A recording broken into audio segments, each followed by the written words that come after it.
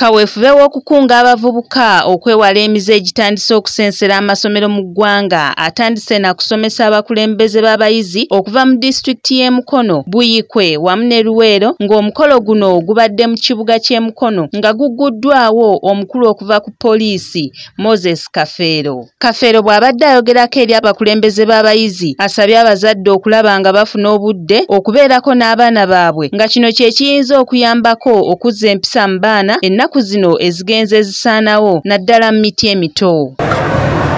Batuuka waka butumbi gabudde abaana beebase bavaawo batyebase nga abazadde bo bagenza kakati n'abazadde benyigire mu bintu baleme kulekera abasomesa abasomesa amakubiriza bafube bayiriza abaana empisa naye n'abazadde bakole omulimu kati kibe nga kyawamu ate naatali muzadde nti gomuzadde naye nga wakukyalo ogwo naye oyigirize ga buli omu obenga amasomero gakola ogwagwo naye n'abazadde bakola ogwagwo tugamba tutambulize wamu. Kafeera asabye abakulembeze b'abayizi okulaba nga balwana nnyo okulwanyisa emize egisensedde ennaku zino amasomero omuli okunywa enjaga wamu n'emirala mingi. Ogedde saidi eyange twogedde mu bino omwenge guno oguyitiridde ezigroups ezitazimba ebintu ate ebije bujja ebisobola okuba twala mu komero polisi nekwata nga byatandikira enoa mu ssomero. Naye tetubyogeddeeko bwogezi ti byebiki ezembisa embi mu society. Naye twogedde bisoboleddwa bitya? Ovuulwa ye awomye omutwe mu kukunga abayizi elvis ssenyonga ng'ono yakitumye save the youth. Agamba bagenza okukiraba nga kyetaagisa okukunga abavubuka bannaabwe okulaba nga baddamu okubeera n'empisa ennungi ennaku zino eziwedde mu bavubuka. Embeera eri mu ggwanga kati nga abayizi baffe abafuluma mu masomero ng'oba abantu betulina mu bifo gye tuwangaalira tebakyalina mbala tebakyalina mpagi kwe batambuliza bulamu. Kale ne weesanga nga values omuzungu kyayita values tekiriiwo.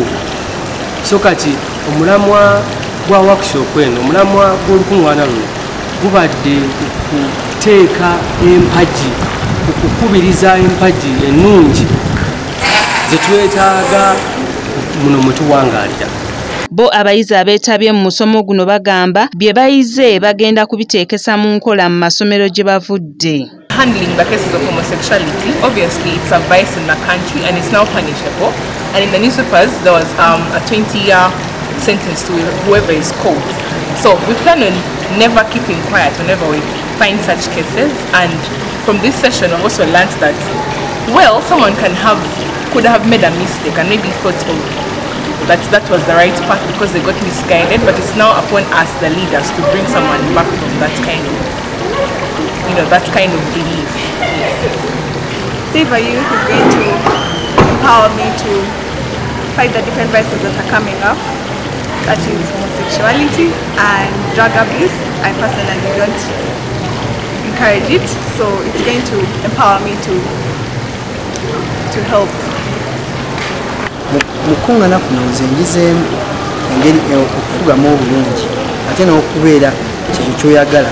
Masfulapyogol mu ngeri nti bw'oba olina kyoyagala olina kyolumirirwa okakasa nti okituukiriza newabaawo akulemesa osigala ku goloyo bano basazeewo okwekolamu omulimu okulaba nga bayizi bannaabwe baddamu okubeera ab'ensa ne bwe baba bavudde ku ssomero.